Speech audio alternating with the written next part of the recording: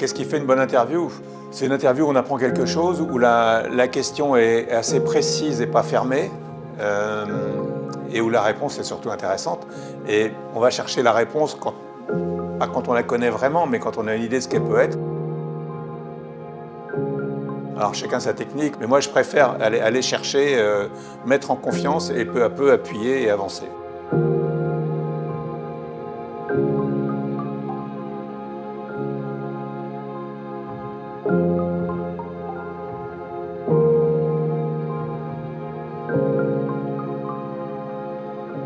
J'aime ça même au-delà du raisonnable. Et je suis surtout curieux des gens qui ont des, parcours exceptionnels parce qu'on voudrait savoir comment on fait. donc c'est le cas avec Alain en particulier. Bah, il, est, il, est, dans, le, ce qu'on appelle euh, toujours le panthéon, c'est-à-dire que les, plus grands, euh, les plus grands, c'est ah, c'est exceptionnel. C'est quatre fois champion du monde, euh, premier français champion du monde une fois, deux fois, trois fois, quatre fois. et ensuite, la suite de sa vie aussi est, assez, forte. Quoi. Il ne recherche que les choses fortes. Ce qui est normal, quand on a vécu ce qu'il a vécu, on ne peut pas vivre dans la chose euh, ordinaire. Start.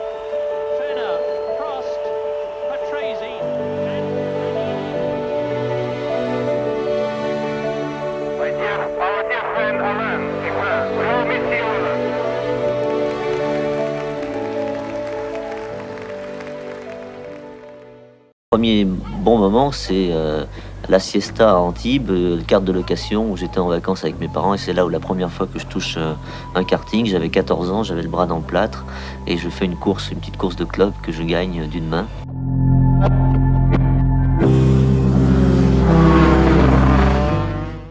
Vous évoquiez tout à l'heure le, football, parce que vous vouliez être footballeur. On a la preuve ici, parce qu'on a votre licence à Saint-Chamond, des images de vous jouant, et vous vouliez jouer à Saint-Étienne, c'était votre rêve.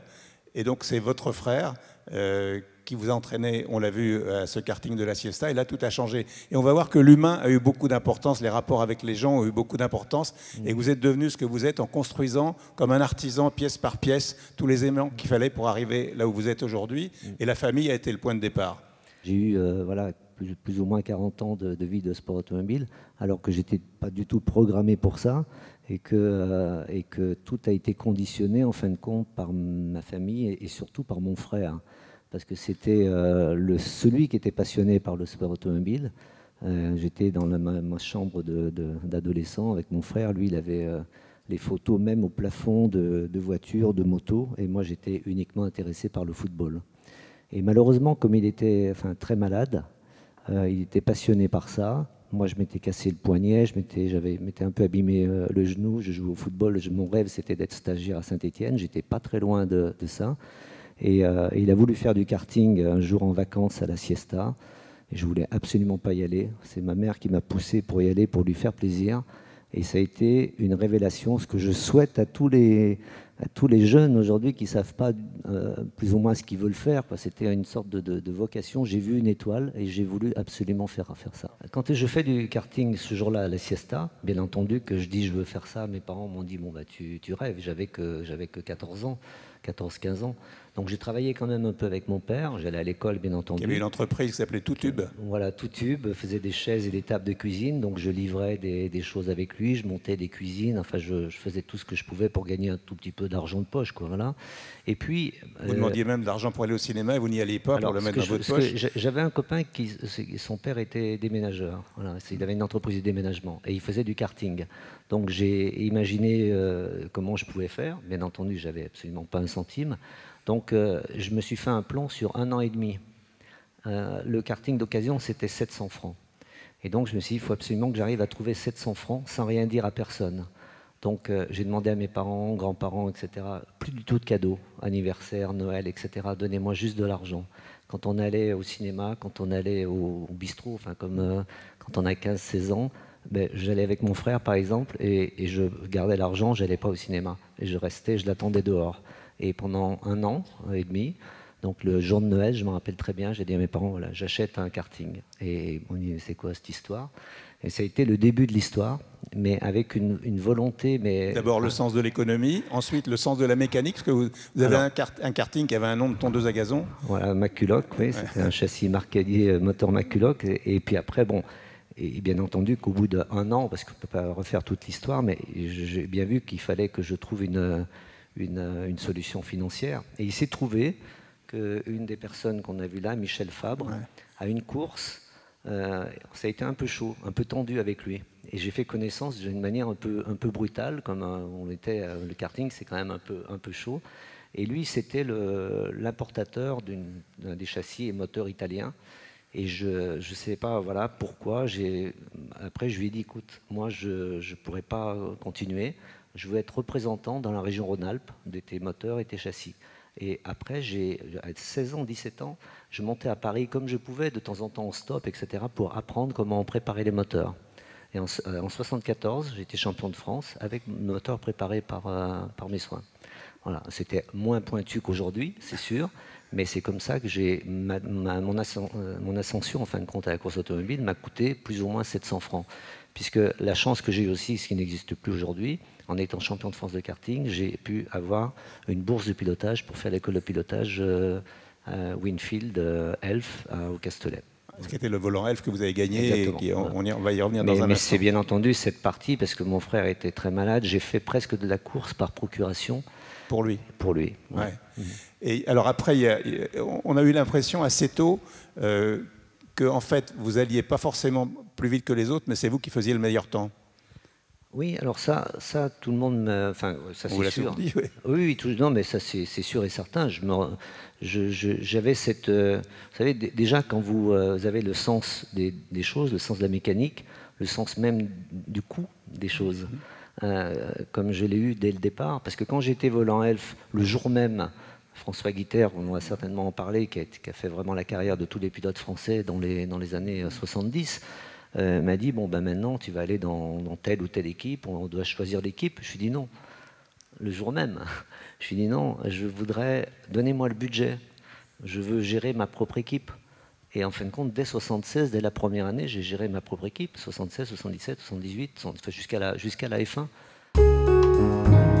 Ma passion pour le sport automobile est équivalente à celle pour le football, euh, qui est plus connue, mais je, rate rarement un Grand Prix. Euh, J'aime ça, je suis allé très nombreuses fois sur les, circuits. Mon père était un garagiste, euh, donc euh, l'automobile avait beaucoup d'importance, évidemment, et, j'ai beaucoup d'admiration pour les pilotes.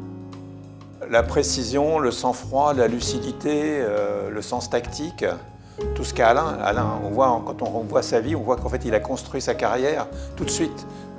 il, a été tout de suite, il a tout de suite eu l'envie, qui est la première chose en découvrant le kart, en ayant un bras dans le plat et en, battant tout le monde. Il a découvert à ce moment-là la siesta, là où il y a la, photo ici. Euh, c'est son frère qui l'a emmené là-bas. C'était pas sa passion, lui, c'était le foot. Et puis euh, après, il a, eu le sens de, l'économie. Il a fallu acheter le premier kart. Ensuite, le sens de la mécanique, faire la mécanique lui-même parce qu'il n'avait pas les moyens. Donc, il avait déjà touché à tout. Et ensuite, il a découvert la, rouerie de la compétition aussi. Et donc, au fur et à mesure, il a construit ce qu'il est devenu et tout seul. Voilà, donc c'est assez admirable.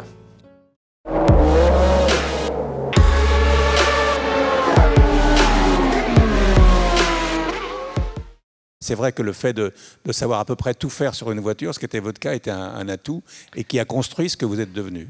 Ah, C'était un, atout euh, prépondérant parce que j'ai toujours considéré que je ne voulais pas déjà conduire à 101%.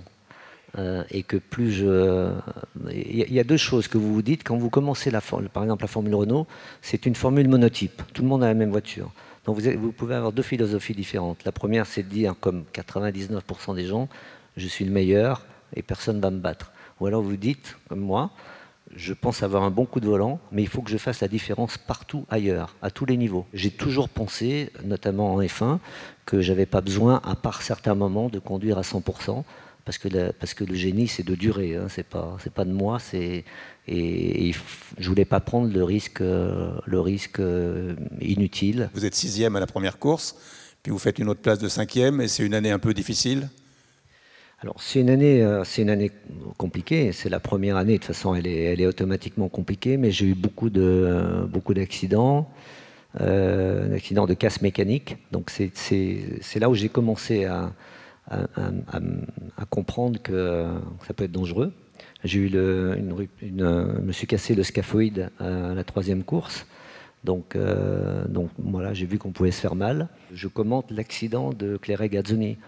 Euh, que je vais voir d'ailleurs avec mon, un de mes meilleurs copains sur le circuit, c'était Elio De Angelis, puisque je, l'avais connu dans le, dans le karting. On va voir euh, Clay à l'hôpital euh, sur une planche à plat ventre, je me rappellerai toujours. Et c'est brutal quand même, vous savez, quand vous arrivez en F1. je me marie le, le jour où, où, où, Patrick Depaillé trouve la mort en Allemagne. en plus de mes accidents après, à répétition, notamment en essai privé, euh, la première année, elle, est, elle, vous, elle vous a guéri quand même. les hein. pilotes côtoyaient la mort beaucoup plus à cette époque-là qu'aujourd'hui. Ah, rien à voir, c'est rien à voir. C'est-à-dire que c'était pratiquement dans notre, euh, un peu dans notre ADN et puis dans notre vision euh, dire oui, ça peut nous, ça peut nous arriver. Parce que le, vous il y, a, plusieurs manières d'avoir un accident, mais à l'époque, on était aussi un peu des, enfin, pas, pas, des pionniers, j'aime pas ce mot-là, mais des, pilotes euh, testeurs. On essayait des choses. Moi, je ne sais pas combien de suspensions j'ai cassées, des ailerons que j'ai perdus. Donc, il faut aussi avoir beaucoup de chance quand même de pas, de pas se, faire mal. Et on était obligé d'accepter ça. Après, euh, je me rappelle euh, des choses incroyables. En 89, l'accident de Philippe Streff. J'étais dans l'hôpital parce qu'on allait à l'hôpital, on allait, on suivait ce qui se passait, on voulait voir. J'étais à l'hôpital quand le, le, chirurgien de, de de, Rio de Janeiro parlait au téléphone avec euh, Gérard euh, Saillant pour savoir comment on pouvait faire. C'est d'ailleurs de, l'accident de Philippe Streff qu'on a, que grâce à des gens comme Gérard, bien entendu, on a fait l'hôpital mobile. Euh, c'est-à-dire que ça n'existait pas, il n'y avait pas de sécurité. En 1986, je suis au Castellet. là aussi, ça a été une seconde étape parce que, comme je disais, un de mes meilleurs copains, c'était Elio De Angelis, que j'ai connu dans le karting. Euh, il y a cet accident au, Castellet où on n'est que deux voitures, euh, deux ou trois voitures en essai privé. Il est, je vois les traces, euh, je vois un peu de fumée, je comprends pas très bien. La voiture est retournée, l'avant sur les, les, glissières de sécurité, l'arrière sur la petite butte. Il est à l'envers, coincé dans sa voiture. J'essaye de le sortir, impossible de le sortir avec le poids et la voiture qui se consume. Et ça, je suis désolé, mais c'est, voyez, quand vous vivez ça, euh, et il n'y avait pas de sécurité, pas d'hélicoptère, etc. C'est à partir de ce jour-là où on a, on a, exigé la sécurité sur les circuits. Tout ça, ça n'existait pas. L'accident de Didier euh, Pironi, il m'a complètement modifié ma manière, de, ma manière de voir les choses. Ça, c'était en 82. sous, la pluie. Sous la pluie. C'est pour ça que les gens doivent comprendre. C'est plus facile aujourd'hui parce qu'à l'époque, on ne pouvait pas dire euh, voilà, été soi-disant un pilote qui n'était pas bon sous la pluie. J'en ai gagné plein de courses sous la pluie. Si ce n'est qu'en 82, quand il y a cet accident sous la pluie avec Didier Pironi, qui me, qui percute votre voiture. Qui me percute ma voiture. Moi, je fais mon premier tour, je suis au ralenti. Il y a Derek Daly qui est derrière moi sur la tirelle. Derek euh, me double comme ça, et Didier arrive derrière, mais vraiment à fond, parce que lui, il avait fait plusieurs, déjà plusieurs tours. Donc, il ne voit pas ma voiture parce qu'il y a des projections d'eau incroyables. Il, décolle sur moi, et ça, j'ai une vision d'horreur incroyable, parce que la voiture décolle comme un avion, comme ça, avec un bruit phénoménal avec un bruit d'air, vous voyez, comme un, comme un avion qui décolle. Et la voiture retombe comme ça sur l'arrière, devant moi, et en tombant sur l'avant, comme c'est des coques en aluminium, elle se déchire. Et là, c'est bon, vision, vision d'horreur. Euh, je vous raconte pas tout, le, tout ce qui se passe après pour le pauvre Didier. Et je rentre au motorhome. Et Gérard Larousse me dit, euh, tu sais, il faudrait que tu remontes dans la voiture euh, le plus vite possible. Je lui dit, écoute, laisse-moi 10 minutes, tout seul dans le motorhome, parce que je, voilà, j'ai besoin quand même de, savoir ce que je fais. Donc il revient 10 minutes après, il me dit, tu as réfléchi J'écoute, c'est très simple. Je ne suis pas là pour 82 avec tout ce qui s'est passé déjà. Euh, je ne suis pas là pour, euh, pour voir ça. Donc je vais remonter dans la voiture. Mais à partir de maintenant, je fais ce que je veux c'est-à-dire dans les conditions euh, difficiles, de pluie, de machin, etc. Si j'ai pas envie de monter dans la voiture, je ne monterai pas. Si tu acceptes ça, si vous acceptez ça, pas de problème, je remonte dans la voiture. Sinon, je vais à la maison. J'étais euh, journaliste sportif à l'époque, une partie de l'époque où Alain était pilote de Formule 1. J'ai suivi des grands prix, j'en ai même commenté à l'époque à TF1. Et, hum, et puis je l'ai reçu très souvent dans des émissions et j'ai beaucoup d'admiration pour lui. Des masterclass comme ça avec, avec Champion, j'en avais jamais fait. j'ai fait beaucoup d'interviews qui peuvent ressembler à ça, mais dans ce contexte-là, non. Et c'est à l'Olympia, quoi. donc euh, c'est assez. Euh, j'y vais très humblement, mais c'est où tous les plus grands sont passés, donc c'est une chance de pouvoir euh, y aller.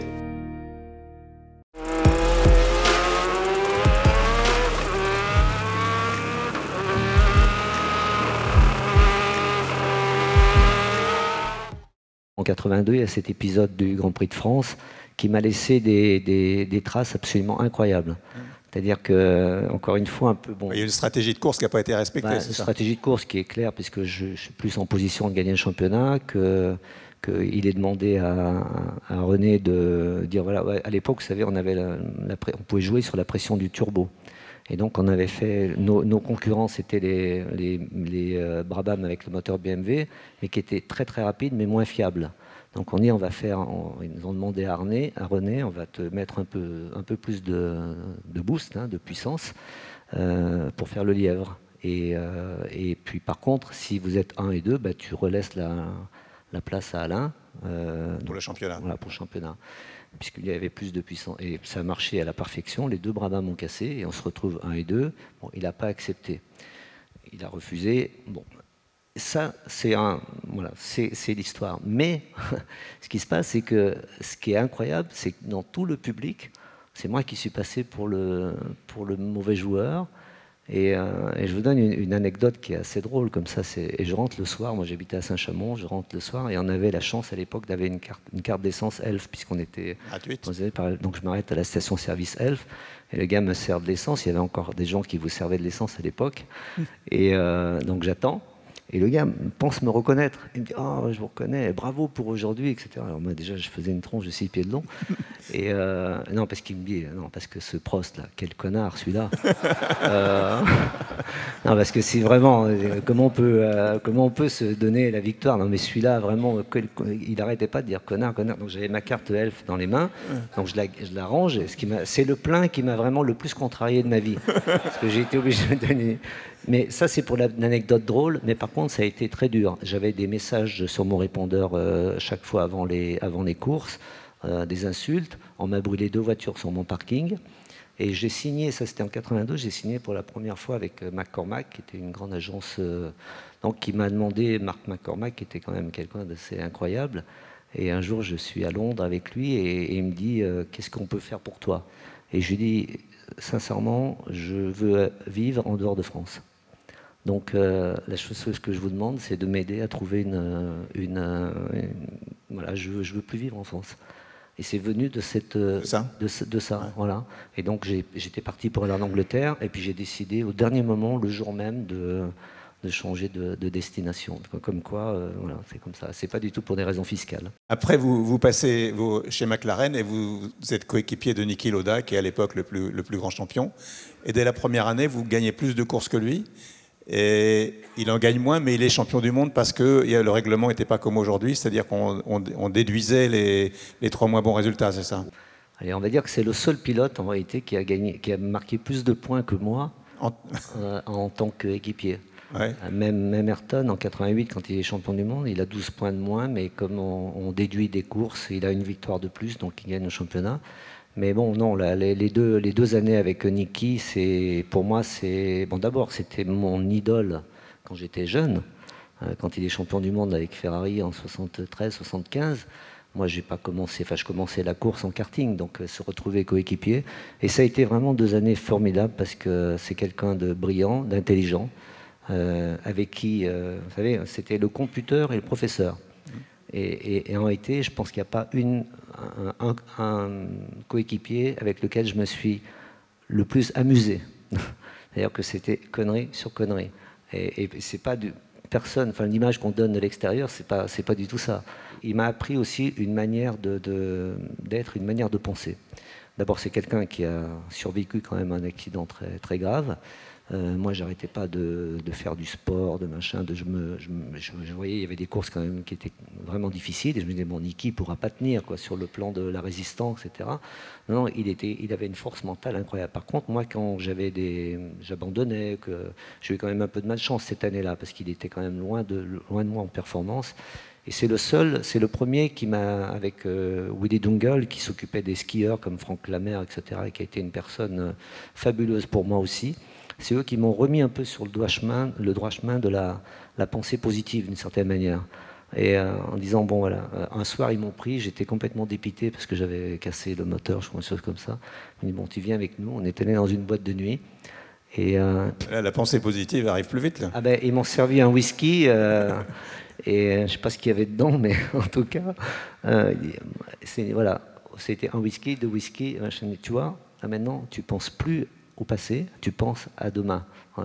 Et c'est con, mais ça a été vraiment très très important pour moi parce que j'ai pu évacuer, faire la part des choses, évacuer tout ce qui était euh, le passé, négatif, etc., et de penser, euh, de penser au futur. On arrive à 85, l'année du premier titre.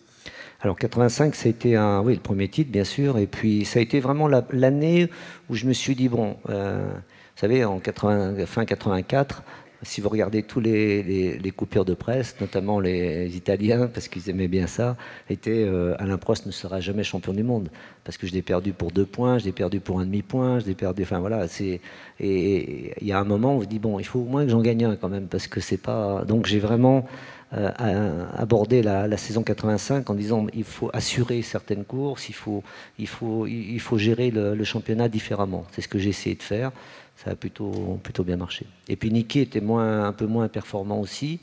Donc euh, il m'a vraiment beaucoup aidé en même temps, enfin plus moralement que mais sur la mise au point des, voitures. Enfin, on était tellement euh, en osmose tous les deux que ça a été euh, ça a été une très très belle saison. Votre frère est toujours là en 85. Et comment il vit cette chose-là? Ah ben, Vous savez, bon, sans être, il a eu un, une tumeur au cerveau et après un cancer du poumon. Donc, euh, c'était un gros fumeur. Donc, euh, et comme je vivais aussi euh, un petit peu, c'était très compliqué pour moi parce que surtout les années où il y a quand même beaucoup de compétition, il y a beaucoup de, morts et de blessés graves sur les pistes. Et j'ai ma mère un jour qui me dit, tu sais, tu fais quand même un métier, je suis en train de perdre un, fils et mon second fils, j'en ai que deux, il est il fait des courses où les, où les gens euh, meurent une course sur, sur deux ou sur, sur trois. Donc c'était, vraiment très, très, très, très compliqué. Et 85, c'est, très dur. Euh, euh, et 86, bien entendu, encore, encore plus, puisqu'il est, parti en 86. Il est parti en 86, le, juste la veille du Grand Prix d'Estoril. Et, mais c'était, non, c'était très dur, vraiment, très très dur. Parce que le, le risque, vous l'avez dans la, dans, dans, la tête, et quand vous voyez vous passez du risque d'un week-end et puis vous passez à, l'hôpital en voyant la souffrance de votre, de votre frère et de, et de vos parents, parce que c'est ça le, le, problème. Vous dites, tiens, pourquoi je fais ça par moment?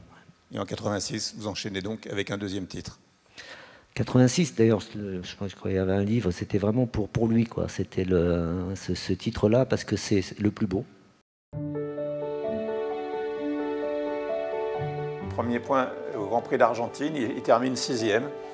il est dans l'écurie avec Niki Loda comme, euh, euh, premier pilote. Donc, euh, il, a toujours été avec des coéquipiers de, haut niveau, ce qui, explique aussi que ça donne de la valeur encore ajoutée à sa carrière. Je ne vais pas dénigrer Schumacher, mais Schumacher n'a jamais eu de rival direct. Euh, alors qu'Alain a toujours été dans la rivalité forte avec euh, Loda, puis avec, euh, avec Senna.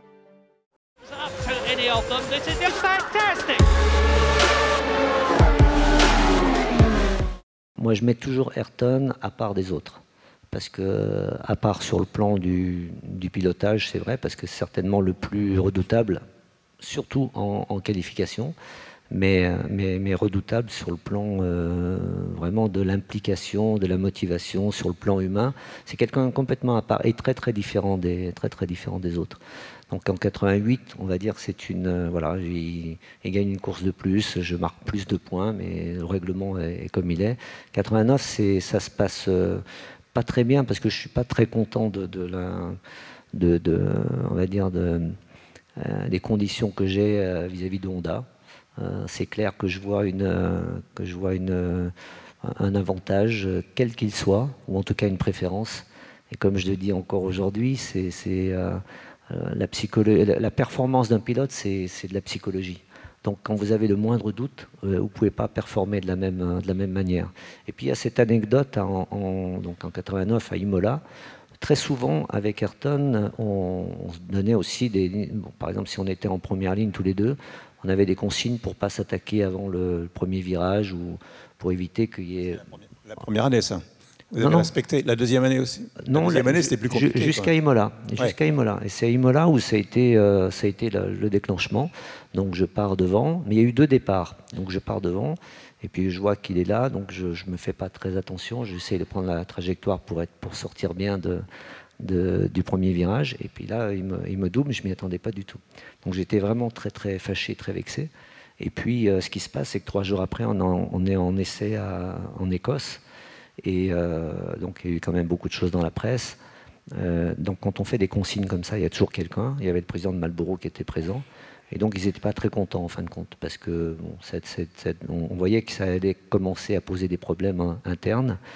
Euh, et, en réalité, on, montre, là c'était à l'époque, on a été chercher une télé avec, avec une cassette, on met le, parce que Ayrton dit, mais au départ, il dit, mais c'est pas moi qui l'ai, c'est pas lui, c'est pas moi qui l'ai doublé, c'est lui qui m'a doublé. Donc euh, Ron lui dit, euh, non mais attends, tu, es fou quoi, tu vois. C'est donc on va lui montrer la cassette, c'est absolument hallucinant.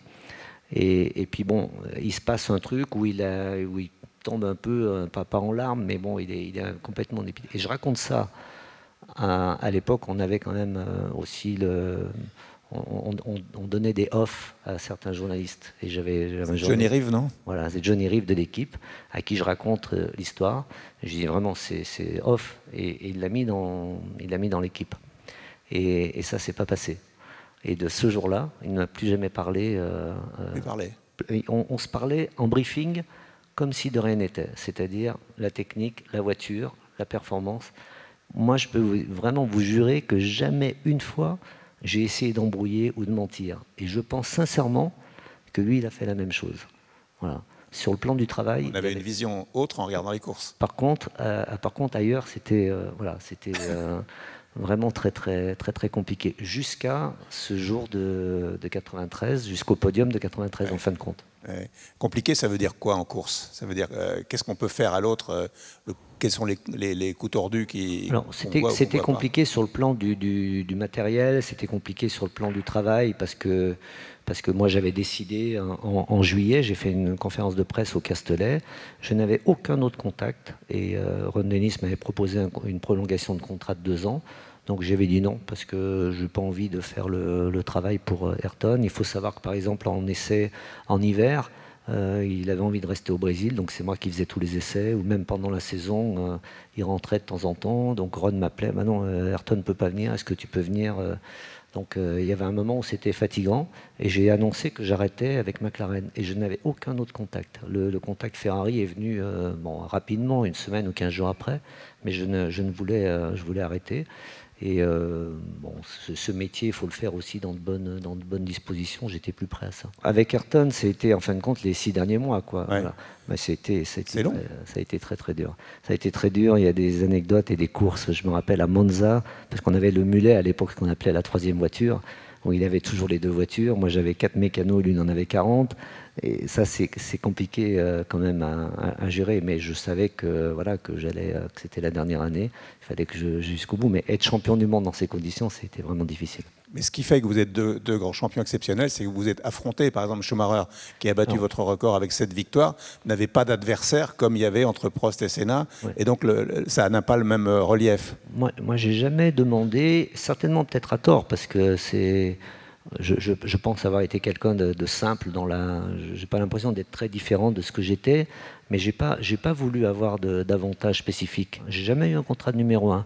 Par contre, euh, le premier, je crois que ça a été Ayrton, euh, à l'époque chez Lotus, quand euh, on est allé chez Honda au Japon avec Ron Dennis pour négocier le moteur, il voulait prendre Nelson Piquet. C'est moi qui leur ai dit non. La, la nouvelle génération, c'est Ayrton. Prenez Ayrton. Ils ont été, ils ont été surpris.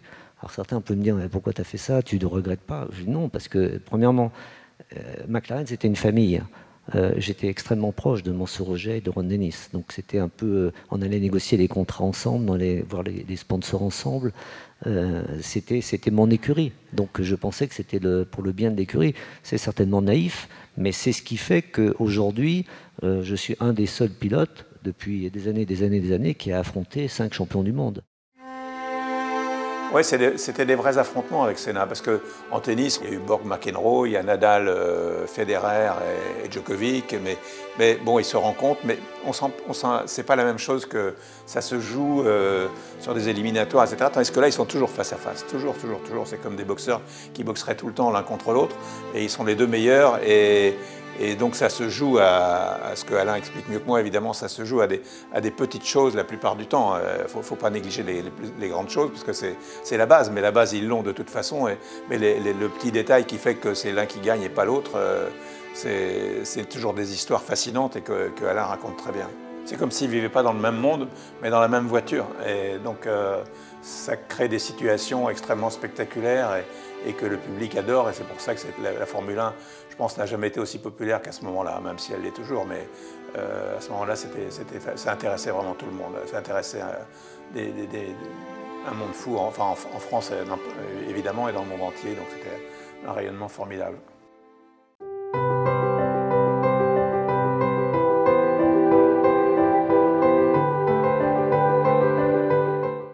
Le dernier podium, en réalité, il, vient euh, complètement euh, achever la période course avec Ayrton et il vient euh, déclencher une nouvelle période que jamais j'aurais imaginé avant. En fin de compte, ce qui se passe, c'est que le Grand Prix d'avant, on fait 1 et 2 avec Ayrton au Japon. Et juste avant de monter sur le podium, je vais le voir, j'ai dit Ayrton, c'est peut-être le dernier podium qu'on fait ensemble. Donc, euh, ce, que, ce serait bien peut-être qu'on montre au monde entier quelque chose de différent, de, parce que c'était vraiment quand même euh, épouvantable. Voilà. Et là, il me regarde et il me dit. Euh, Ayrton prenait souvent beaucoup de temps pour répondre. J'attends un peu sa réponse. Non, comme ça. Bon, ok. Et donc après, c'est une semaine ou quinze jours après, peu importe, dernière course, on fait un et deux encore.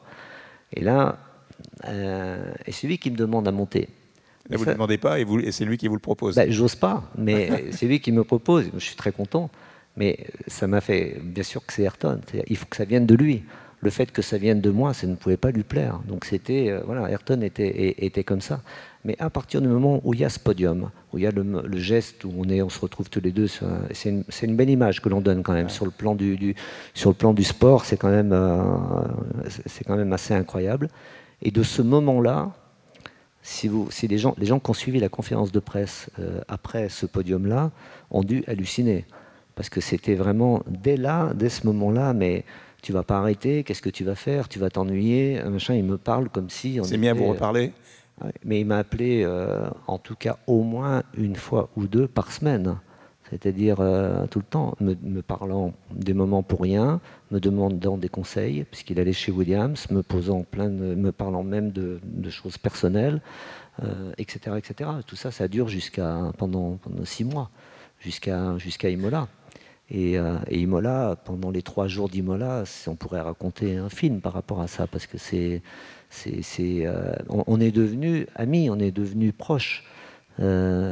A contrario, quand on est, euh, je crois que c'est en 88, oui, on est ensemble, euh, on est au salon de Genève, et je l'invite moi j'habite à 20 minutes, et je lui dis viens, on va, déjeuner euh, à la maison. Je trouvais que c'était sympa, on était coéquipiers, on se parlait, il n'y a pas de problème. on est dans la voiture, il, dort, bon, ok, il se repose, on, déjeune, il dit presque pas un mot. Après le café, il va dans le salon et il dort. Et il rentre, il dort. Alors, je dis, c'est pas possible, quoi. C'est euh, et je vois euh, le, patron d'Onda Suisse à l'époque, quand on revient au salon le soir, et je lui dis, tu sais, c'est incroyable, quoi. Je lui explique, non, mais c'est pas la peine de me raconter. Je connais, je sais déjà tout. Il dit, comment tu sais tout? Il dit, oui, il, a fait exprès dormir parce qu'il veut pas devenir ton ami. Voilà. Et il voulait pas rentrer dans une, dans une situation amicale. Il voulait toujours être un peu dans, dans le conflit. Ah oui. Mais moi, j'ai connu la période que j'ai connue de Ayrton entre le podium et malheureusement son accident Imola m'a fait comprendre tout ce qu'il a fait avant. il m'appelait pour me dire Alain, je ne suis pas motivé pour, me, battre contre les pilotes qui avaient à l'époque, je ne vais pas citer les noms, et euh, euh, quand j'ai essayé la McLaren avec le moteur Peugeot, il m'appelait tous les jours, il me dit alors qu'est-ce que tu fais, tu reviens, etc. Attends, tu me fais marrer, je vais vais pas être compétitif, donc de toute façon, euh, je vais, je vais pas le faire. Et voilà, tout ça, c'est un, une relation extrêmement amicale, extrêmement touchante, jusqu'au moment à Imola où il vient me voir quand je suis dans le motorhome, il me demande de venir le voir avant le départ de la course, ce qu'il ne faisait absolument jamais. J'étais en train de manger, euh, de, déjeuner avec des invités chez, dans le motorhome Renault. Il sort du motorhome avant, le, avant la course. Il vient me voir. Tout le monde a, été très surpris parce il a, on parlait de rituel tout à l'heure. Le rituel d'Ayrton, c'était de, d'être complètement concentré sur son truc. Dans la voiture, il n'enlevait jamais le casque. C'est la première fois qu'il enlevait le casque. Il faisait ses étirements dans le garage. Il m'a vu passer. Il a demandé à quelqu'un de venir le, me chercher pour on a parlé un quart d'heure c'est les derniers d'ailleurs les derniers moments que j'ai avec lui. Donc tout ça c'était une il, était un peu perturbé mais euh, euh, voilà j'en garde un souvenir euh, incroyable parce que j'ai représenté pour lui quelque chose que j'aurais jamais compris s'il n'y avait pas eu cette période là et c'est pour ça que j'en veux à, ce film qui a été fait parce que on aurait pu faire une histoire la raconter vraiment et faire une histoire fabuleuse il faut connaître ce qu'était, parce que moi j'étais dans la famille, je suis encore euh, impliqué dans la fondation, j'ai été invité par la famille au, Brésil, et j'ai compris ce qu'était Ayrton quand il voyait qui était Alain Prost comme euh, target, comme moi je un peu avec Niki Loda, avec des gens comme ça. Euh, il y a pendant et il y a après. Si vous n'avez pas la trois visions des choses, vous n'avez rien compris. Et quand je vois que le, celui qui a fait le film, qui dit par exemple que cette image le, message qui dit euh, Alain, tu, me manques, n'existe pas ou est un fake, eh bien moi je pense que ce film est un fake et c'est dommage parce que j'ai fait 8 heures de roche avec des histoires incroyables et je trouve que c'est dommage parce que dans l'histoire du sport, il n'y a pas beaucoup d'histoires comme ça. Parce que ce n'est pas une histoire sportive, c'est une histoire humaine. Quand vous avez quelqu'un comme un, avec une vision, que vous voulez vous motiver pour quelqu'un, pour ressembler à quelqu'un, peu importe s'il y a des excès, je trouve que c'est très beau. Et c'est ce qu'on a raté.